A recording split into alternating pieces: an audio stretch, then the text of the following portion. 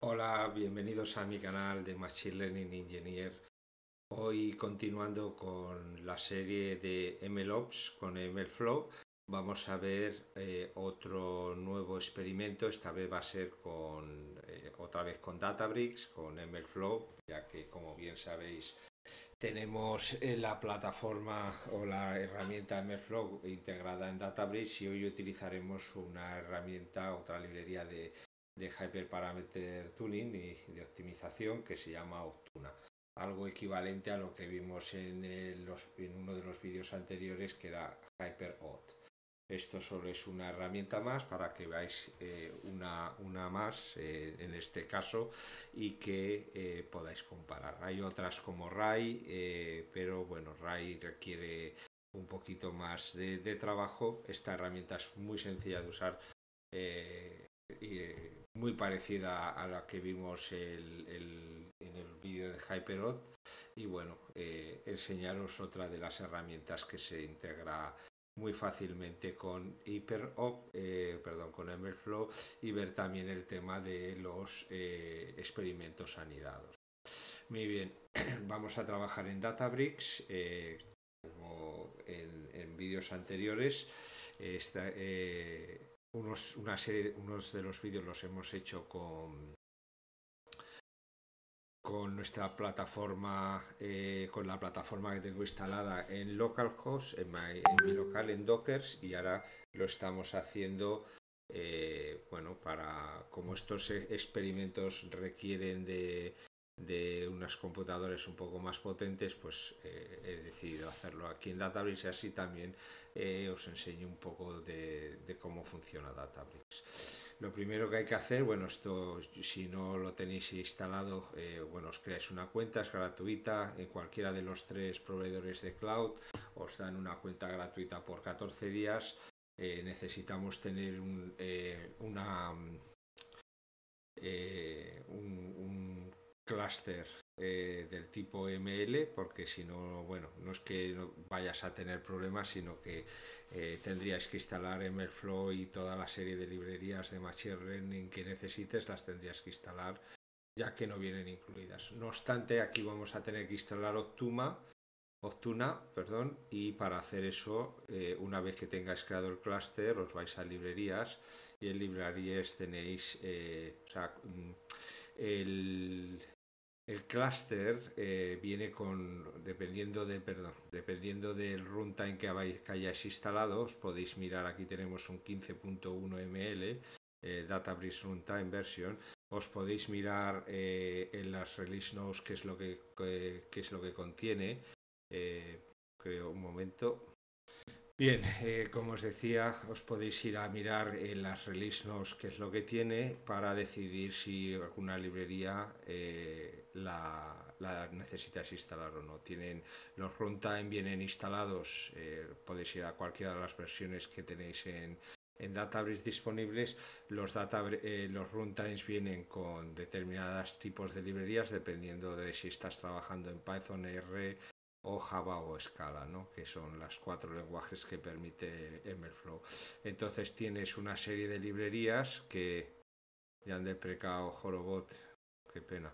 Pero bueno, luego veis aquí eh, lo que tiene, estas son eh, las, digamos, las librerías principales y luego una serie de utilidades que podéis comprobar si la que está, la que necesitéis la tenéis ahí eh, instalada y con qué versión, ya que es importante, como bien sabéis, dependiendo de, de la versión, pues a lo mejor no tiene la funcionalidad exacta que vosotros estáis buscando. Eh, te estoy buscando a ver con qué Python viene aquí, si no lo buscaremos luego. Eh, o lo podemos buscar en el propio en el propio eh, notebook después. Bien, una vez que lo habéis creado, como la librería hay dos librerías que iba a usar, una es Optuna y la otra es Faker, que es una herramienta para crear data sintética. Y bueno, pues entonces si no la tenéis en el esto, dependiendo de lo que sea, pues podéis traeros un PIP, un paquete del tipo que sea, siempre que sea del lenguaje, lo podéis traer en, lo podéis cargar aquí con el, con solo arrastrar y pegar. Eh, en, este y, y, ya os lo sube al, al, Workspace y lo podéis instalar directamente desde el paquete. Y si no, pues mirar, tenéis aquí la parte de CRAN para R, la parte de Maven para Scala y, y Python y la parte de PIP para, eh, para Python. Y luego tenéis aquí en, el un, un pate en el, ¿cómo se dice? En el file system de Databricks. Eh, no, perdón, eh, de Azure, Azure Data, Data Lake, que es, un file pack en, el, en un blog que pudierais tener y luego en el Database File System. Yo lo he instalado aquí directamente, esto es bastante sencillo. Le pones aquí Optuna y si quieres instalar una versión específica, esto es como el PIP, le pones igual igual y la, eh, la versión que quieras instalar. Eh, y, tan simple como esto. Si tuvierais que instalar otra librería, pues os vais al repositorio de CRAN, pilláis el, nombre específico, lo mismo que con Maven, eh, pilláis el nombre específico y os lo, os lo instala. Tan sencillo como eso. Es, muy muy sencillo instalar las dependencias. No se recomienda hacer eh, como en el en el Workspace con un PIP. Eh, esto era la forma antigua, antes incluso tenían un instalador, pero esto, esto ya está. Si queréis que os funcione correctamente, porque esto, eh, digamos, os asegura, queda instalada en el clúster, se instala en todos los workers también. Si la haces desde, desde el notebook, eso no lo garantizas y posiblemente tengas que reiniciar el notebook para que tenga efecto. Si lo haces de esta otra manera, queda instalada en el momento, aunque tengas el clúster encendido. Muy bien, eh, la segunda cosa, también aquí podéis explorar en Python Libraries, podéis explorar las librerías que tiene el runtime que habéis elegido, es otra forma de, buscarlo. ¿Qué más? Eh, y la otra cosa, bien, vale, eh, para este notebook he creado un, un notebook de apoyo que lo he llamado utils, que en principio tiene todas, todas las funciones que necesito, una para generar la data sintética, o sea que tampoco vamos a hacer un hyperparameter tuning con un, eh, eh, utilizando X, XGBoost Regressor, y hombre, la data es falsa, con lo cual no esperéis maravillas y tampoco las esperéis en vuestro, en vuestro entorno local. La data está creada artificialmente, pues solo para hacer un ejemplo. Y luego una serie de plots para, eh, imprimir, para visualizar la correlación, los residuals y la feature importance y, este es otro para solo crear eh, el experimento o, hacer un get si el experimento no existe. Entonces, para, por si no lo sabéis, bueno, aquí importamos las librerías también en el, en el notebook principal y para poder ejecutar es como un import, eh, o sea, esto lo que hacemos con, con esta nomenclatura en una celda, hacemos un run de este notebook y lo que hacemos es pues como si hubierais eh, como si tuvierais las, las, funciones en el propio notebook ¿no? Esto se suele hacer mucho pues para organizar eh, el, eh, los, eh, organizar el código, digamos, y que no tengáis unos, unos notebooks muy largos. Podéis tener una serie de notebooks paralelos, solo los ejecutas y una vez que lo has ejecutado, pues es como si hubieras, pues si tuvieras una, una celda aquí con todo lo que tienes en el notebook. Tan simple como esto. esto es una forma muy común de organizar el, el código dentro de Databricks. Bien, aquí llamamos, vale, vamos a, ejecutarlo todo, importamos, volvemos a importar el, o sea, volvemos a correr el, todo lo que hay aquí, estas cinco funciones, generamos la data, eh, vamos a generar otras, son 5.000 líneas, aquí podéis cambiarle, vamos a poner si queréis 8.000, esto es lo de menos, poquito más y bueno, pues veis aquí que ha generado una serie de datos temperatura rainfall estamos generando esto es un ejercicio que es el, eh, predecir la demanda de, de, Apples eh, pero puede ser cualquier cosa. O sea eh, veis que hemos generado temperatura, eh, rainfall, el día de la semana, si es holiday o no holiday, el precio por kilogramo, si hay eh, por kilogramo, si, si, es, si hay promoción o no promoción de este producto, la demanda que, que, hubo, esto es el, volumen de ventas, digamos, la, demanda previa, competitor price y market intensity. Bueno, esto es un score que todo inventado para que no nos hagamos tampoco esto, pero bueno, que sepáis que lo podéis el mismo, que esto lo podéis eh, utilizar con un, con un data frame real. Bien, entonces, aquí lo que hacemos es, eh, vamos a examinar las correlaciones que hay entre la target y las distintas, los distintos atributos que tenemos en el, en el, en el data frame y bueno, pues en esta vez, si, no sé si visteis el vídeo, eh, si teníais la imagen anterior, podéis echar el vídeo un poco para atrás, veríais que antes el, valor que más eh, era más importante era el weekend y este ya ha salido el previous day eh, days demand, ¿no? Es, es completamente aleatorio, o sea que esto en vuestro entorno os puede variar.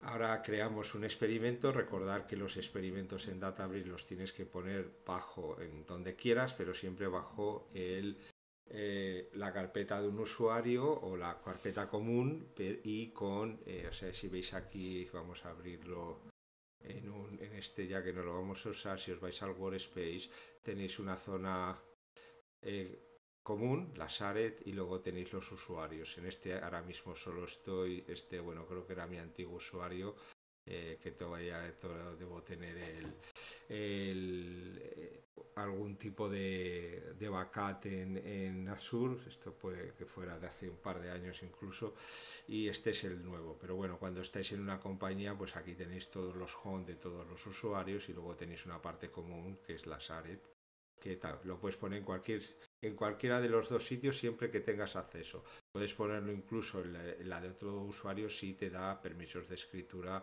a alguna carpeta que tengas allí. ¿vale? Bien, entonces eh, nos creamos un experimento, lo vamos a llamar Apple Demand, como existe. Bien, ya, ya eh, lo que me retorna es el ID del experimento. Esto si os vais a experimentos, pues aquí ya lo tenemos en, nuestro, eh, en nuestra sección de experimentos. Ahora lo que hacemos aquí es preparar el data frame, hacemos una parte de validación para el training, eh, esto bueno, lo, lo convencional para hacer un, ejercicio de hyperparameter tuning. Y bueno, con Noctuna, pues eh, si habéis visto los vídeos, el vídeo que hicimos de Hyperot, pues es muy similar, se, se define, esto es un calvat eh, para hacer login o no login, dependiendo de...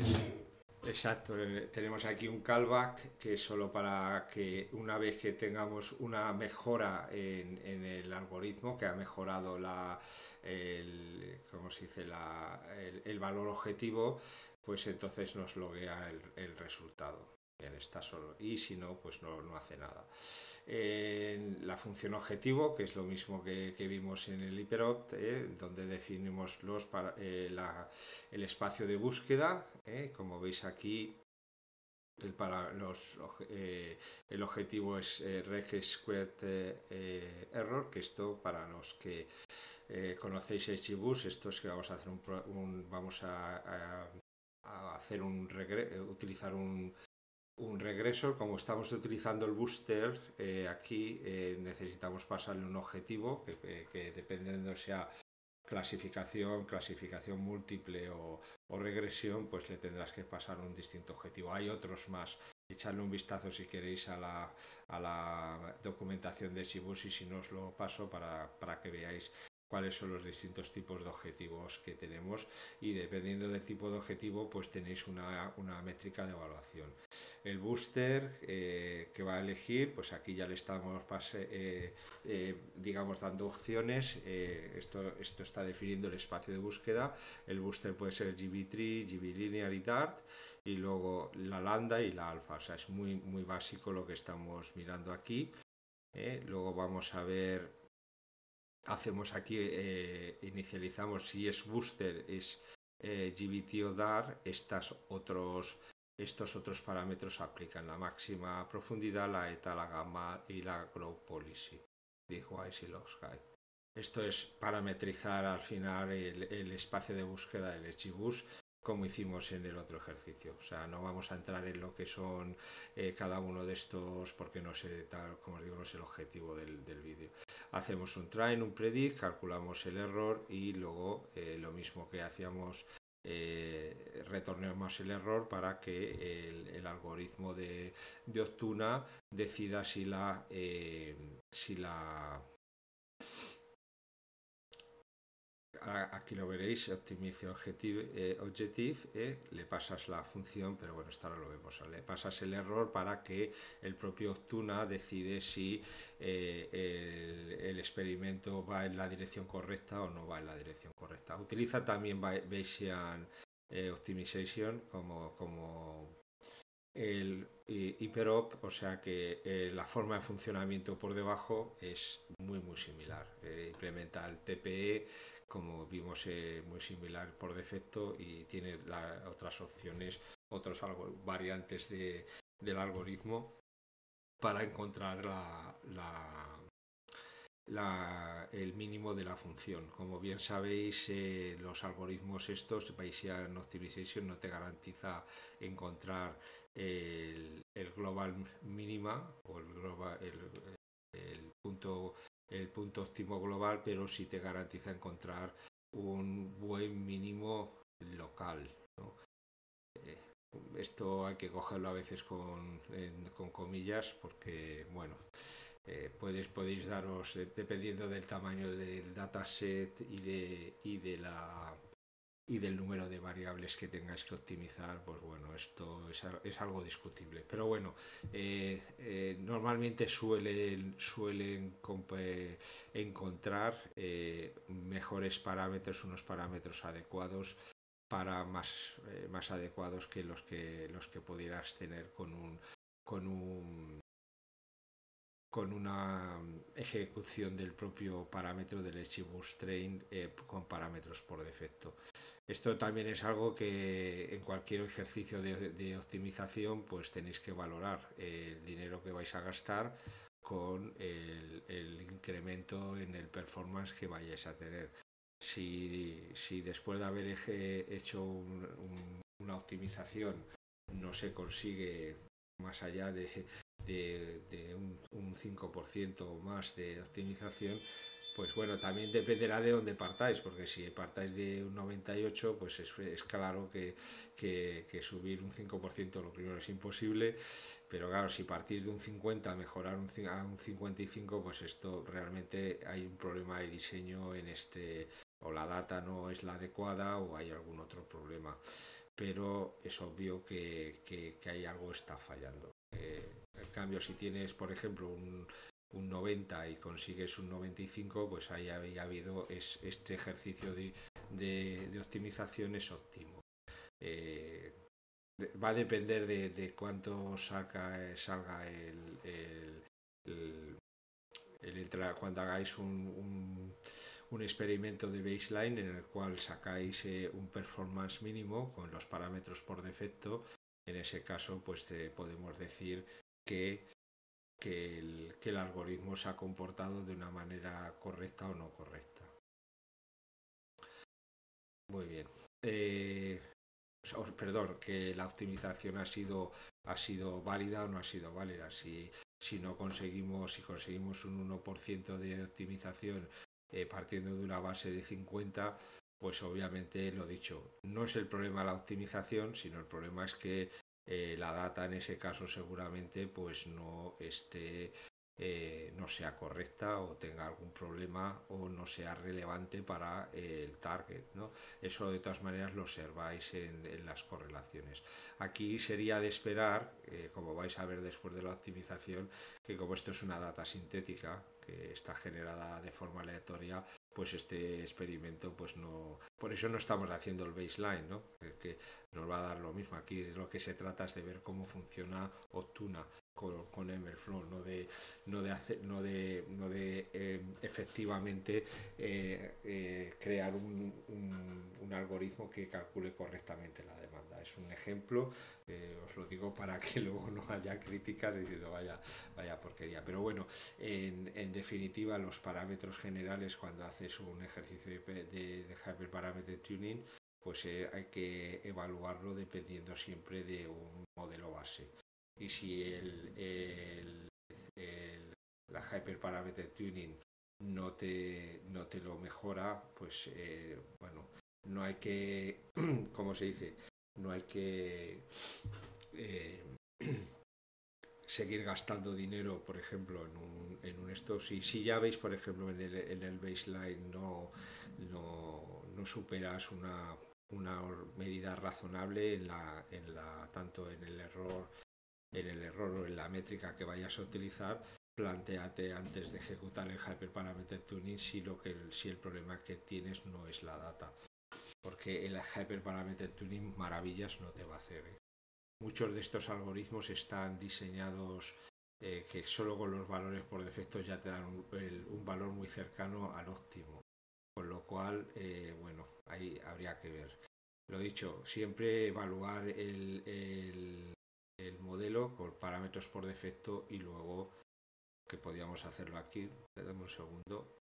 Bueno, eh, lo he hecho ya al final, os lo, dejaré en el notebook. Eh, lanzamos el, training con, con, el algoritmo por defecto y calculamos el error y el RMS, ¿no? el absoluto y el, y el, el mean square error y el, y el otro, el MSE y el RMSE. Muy bien.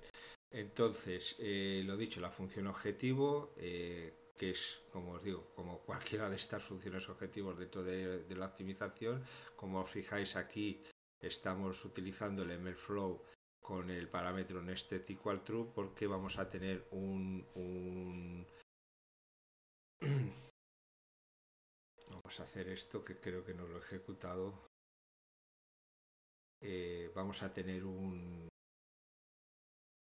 un experimento que sea el, root y luego todos los, las, eh, los trials que, que tengamos eh, con las distintas variantes de los parámetros. Lo primero se loguearán al MLflow, se loguearán también los, los objetivos, no se loguea nada más, no se loguea el modelo, solo se logueará el mejor, el mejor de los modelos al final. O sea, esto lo va guardando el, eh, con el error, va guardando el, eh, todos estos parámetros los, los guarda eh, y al final pues te, en, el, en el experimento principal eh, te guardará el modelo y te guardará te los, los, los plots de los de los eh, gráficos y todo lo que necesites para, para para replicar el modelo y para analizar los resultados de la optimización. Muy bien. Luego, eh, aquí eh, vamos a crear un run name para, para, este, para, lo, exactamente para el, experimento principal, que como veis lo tenéis que empezar con mflow run, con un nombre del experimento, con el perdón, con el experiment ID, que es el experimento, el número de experimento que hemos sacado aquí, arriba, este de aquí, que es el que se llama Apples Demand, y dentro de ese experimento eh, le pasamos un run name que va a ser este de aquí, Apples Demand Now, que a la hora en, lo que, en que lo eh, ejecutemos, y luego en este equal true, esto indicará que, eh, que este va a ser el, experimento raíz y luego los que haya dentro, los que se estén llamando dentro de la función objetivo, pues estarán, eh, eh, digamos, penderán de este, de este experimento principal. Entonces, Optuna, bueno, lo primero que haces es dirección, cómo se crea el, el el proceso, el proceso de optimización. Aquí sí que tenemos minimización y maximización, o sea, sí que puedes elegir eh, a dónde, hacia dónde, qué quieres hacer, como si, si vamos a hacer aquí RMSE, que es la, la, la métrica que vamos a optimizar, error, como estáis viendo aquí, es el min square error. Esto se trata de minimizar el min square error. aparte estamos en, un ejercicio de, regresión, ¿no? Entonces aquí hay una es minimización. Pero si estuviéramos en una clasificación y quisierais hacer maximización, pues eh, tan simple como poner maximice y, eso es, y en vez de y en, la función objetivo, pues el, error que, que, retornara sería, por ejemplo, la Rocauchi o, o eh, la Curasi o el F1 o lo que vaya, lo que quieras, lo que quieras maximizar. Entonces aquí creamos el, caso, el, experimento en Octuna y aquí optimizamos con la, eh, con la función objetivo. Como veis aquí, 3, 500, eh, vamos a hacerlo un poquito más corto para que no se tarde tanto tiempo. Tarda unos 15 minutos en total. Y luego una vez que ha terminado el estudio, eh, aquí durante, mientras está ejecutando los 200 trials, los 200 variantes de, training, pues eh, irá logueando en cada una de, esas, de las suyas. Aquí está la anterior que, que bueno, que he hecho antes. Como veis tiene miles, tarda muy poquito, es un, es un data frame bastante sencillo y veis que eh, cada uno de los experimentos pues te valida el, eh, te, te loguea los parámetros y te da las métricas que estamos logueando dentro de la función objetivo. Como veis en la función objetivo no estábamos logueando modelos eh, y lo único que hace pues como el XGBoost tiene está, está integrado completamente con MLflow, eh, pues lo que hace es loguear todo lo que, eh, digamos, eh, le indicas. No estamos activando el autolog, si os fijáis, con lo cual no, lo va, no lo va a capturar automáticamente si no lo activas. Bien, entonces, una vez que ha terminado la optimización, pues, como veis aquí, logueamos los mejores parámetros de la optimización esto ya directamente te lo da en el, en el objeto best, best parent, ¿eh? best value, best value de, de o sea, MSE y RMSE y luego aquí ponemos unas tags, esto es otra de las cosas para podéis ponerle tags a los experimentos para que tengáis eh, luego una referencia y podéis hacer búsquedas por estos tags eh, dentro de la, de la, base de datos que estéis utilizando, eh, de la base de datos que tiene toda la metadata, la metadata, MLflow, o sea, podéis luego buscar por estas tags. Y aquí lo que haces es entrenar el modelo con los mejores parámetros, con el mismo esto de entrenamiento y una vez que lo has, que lo has eh, entrenado, pues eh, activas, eh, haces un, un plot de, de la correlación de los de las correlación de las fichos con el con estos independientemente del modelo. Luego aquí o sea es, sencillamente la correlación de las propias de las propias columnas o atributos con la, con la, eh, con la columna target. ¿no? O sea, esto no tiene que ver con el modelo. Aquí solo estamos eh, logueando el, el gráfico de correlación, luego aquí le pasamos al modelo y generamos el feature important, ¿eh? le tienes que pasar el booster para que del booster consiga, extraiga las, la feature importance de cada una de las de los atributos que has usado en el training, luego importamos los residuals y, y luego logueamos el modelo eh, con eh, le pasamos un input example para que pueda crear la, la, la, la card en el en MLflow y le pasamos el modelo, el formato VJ y luego una metadata para, eh, para que puedas identificar al modelo. Bien, y una vez hecho eso, en la URI vas a, eh, como se dice, vas a obtener el modelo eh, que acabas de loguear aquí. Bien, lo ejecutamos esto y empieza aquí un nuevo experimento, ¿vale? Y ahora vamos a irnos a nuestros experimentos. Y como veis aquí habrá iniciado uno nuevo que es el Apple de Man. Y bueno pues ya está trabajando ahí. Lo voy a parar aquí hasta que termine. Y una vez que termine pues continuamos con el, con el vídeo. Muy bien esto ya ha terminado.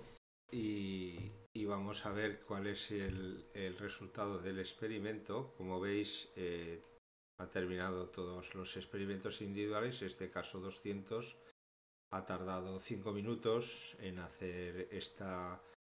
Y si entras en el raíz pues vas a ver todo. Veis aquí tenemos un 162 como el mejor RMSE y el mejor MSE 26389 creo que no ha sido ninguna mejora. Bueno un poquito pero como veis 162 comparado con 167 y 26 esto, como os decía, eh, era esperar porque los datos son, son, eh, son random. O sea, aquí no puedes esperar ninguna, ninguna, eh, ¿cómo se dice?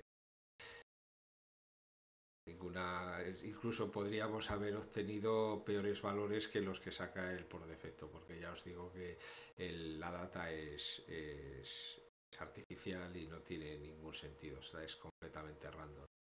No obstante, bueno, veis que aquí, como os decía, veis que está logueando eh, solo en los, eh, en los experimentos donde hay una mejora. Si no hay mejora, no, no eh, loguea. Esto es lo que hace el callback que hemos definido aquí, el champion callback, que es esta función de aquí. Muy bien, una vez que hemos hecho eso, pues eh, cargamos nuestro modelo para hacer inferencia de la model URI, que es a lo que hemos hecho aquí, que está activa, también lo podríais traer de, eh, como hacemos en algún caso, aquí no hemos utilizado el AsRun, que es, esto es una manía que no sé por qué no lo hago, pero si pusierais el, eh, el AsRun, pues tuvierais, tendríamos el, en este objeto todo lo que ha pasado eh, durante este experimento de training. No lo he hecho, pero bueno, en vuestra casa, en el notebook que os pasaré, eh, en el repositorio, pues tendréis ahí esto ya corregido y podréis utilizar el run dat run ID para poder obtener el, ID del model y luego sencillamente cargarlo desde el experimento. Aquí nos hacemos un vamos a hacer solo una inferencia, algo sencillo, para y el, resultado de la inferencia guardarlo en la, en la, en la columna predicted demand y luego lo, simplemente lo, lo ploteamos. Como veis, bueno, yo esto no lo compraba ni loco, porque hace unas predicciones malísimas, pero bueno, es lo que hay. Como la data, lo dicho, la data sintética, pues no podéis esperar que ni sea XBoost ni cualquier modelo, esto, esto no, no lo va a predecir nunca bien.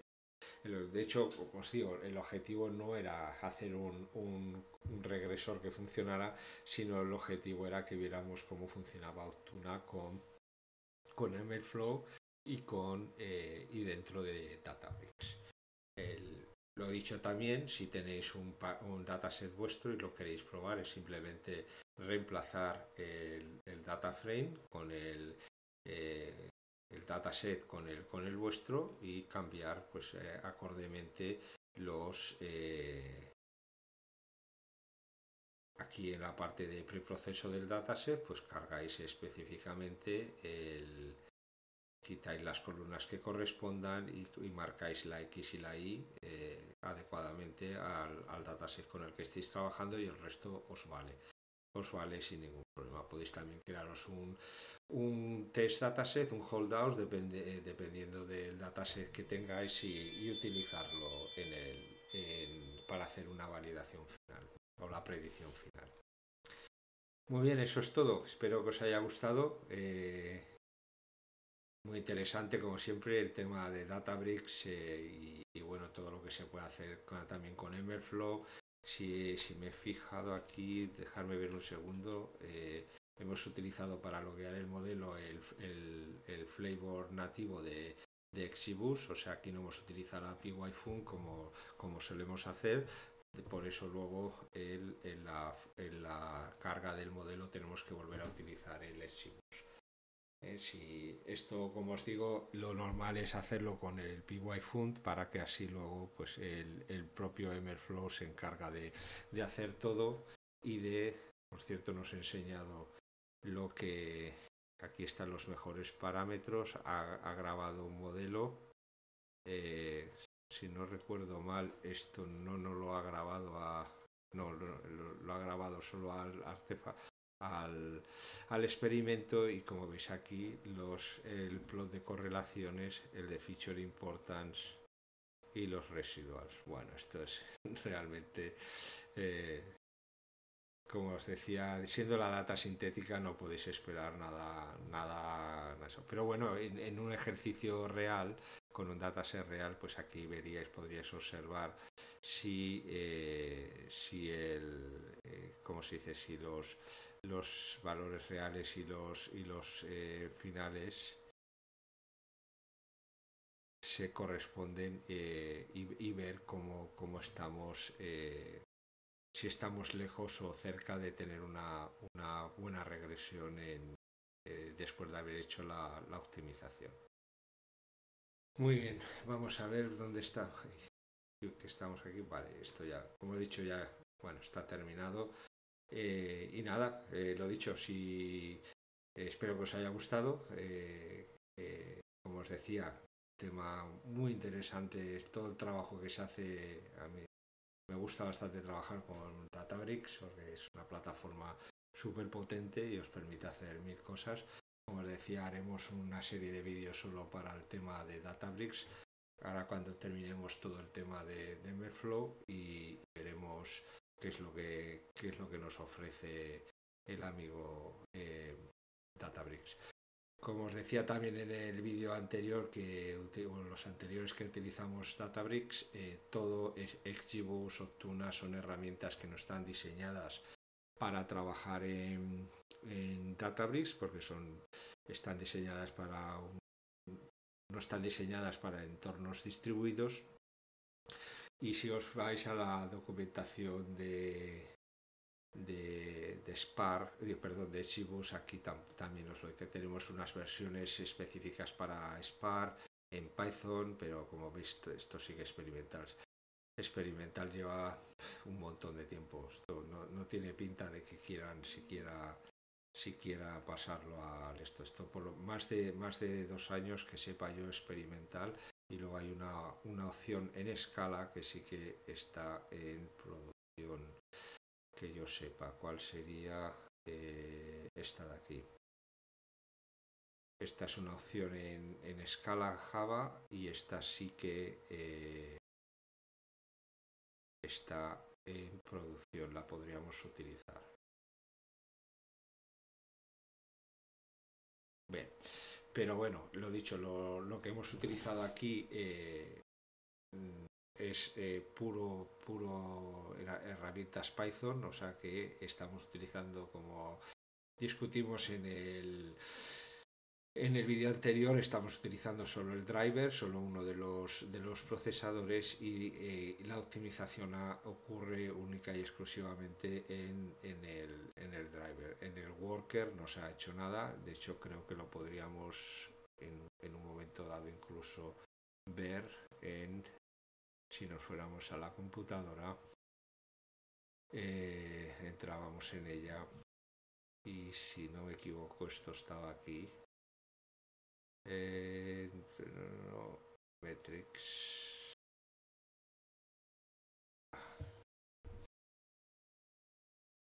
habría que ver aquí hardware.